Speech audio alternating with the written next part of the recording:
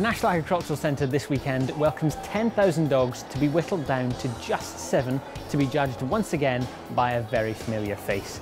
This is Around the Dog World at City of Birmingham.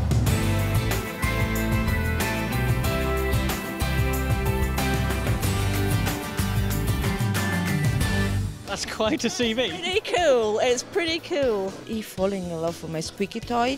so with a squeaky toy, I can make him do whatever I want. I think he's pretty near perfect. I could have placed six or eight if, I, if I'd had a...